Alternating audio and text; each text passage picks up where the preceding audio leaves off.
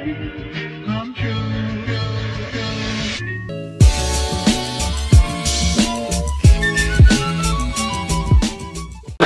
back to the Nights of Horror. My name is Sam. We have John Murdy here, um, executive director over at HHN, fresh out of the panel.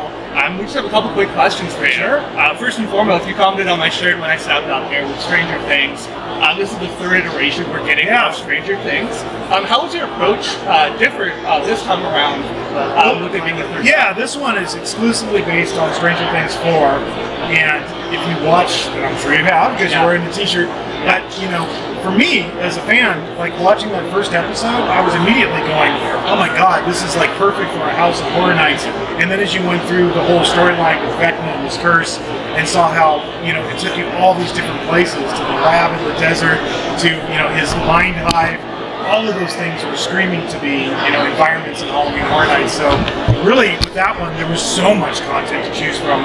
The hard part was picking what we were going to do. Yeah, I can only imagine. There's, I believe, 10 episodes. There's a ton of bull. Yeah, and they're not short. No. You know? Yeah, they're like some of them are like longer than a feature film. Yeah, definitely. Um, uh, speaking of feature films, leading me right into my next question. Um, on Friday, while you were in the air, we had Exorcist Believer Yeah. announced. Um, and this one's really unique in the sense that Exorcist Believer doesn't come out till Friday, October 13th. Yes, yeah. Uh, how, when you're approaching this phase and creating that treatment, what do you get? Do you get an early screening of the movie? Do you get a, a No, it starts at the script. Yeah, we started with the script, and we were uh, de- developing the house in tandem with the film as it was being shot. So it's a little different than our normal, you know, procedure of how we do things. But in our mind, the way we think about it is we're creating the ultimate trailer for the film. The trailer's going to launch, which it just did in like the last week, and now when people come to Horror Nights, they get to live it. They get to go through it and see it happening to them. And so that's the ultimate, you know, trailer for anything. So we're really excited to bring that one to, to life. That's always that franchise scares me more than any other franchise in horror. So um, I love like trying to face my own fears and bring it to life for our fans.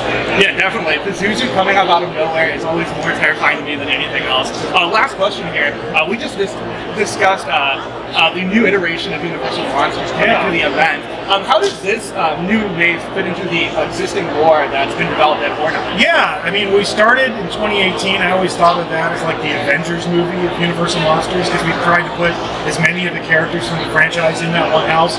And then we always thought, even back then, well, we didn't plan out that we were going to do five houses, which is where we're at now. But at the time, we were thinking, well, if this works, then we'll start spinning them off into their own stories. Um, and that's what we've done over the years. Literally, the idea for this one started last year around this time as I was walking through Legends Collide, the house we did last year, I was like, next year is going to be the 100th anniversary of Hunchback, and we should really do something to celebrate the silent films that started all of this. So that was the Off part.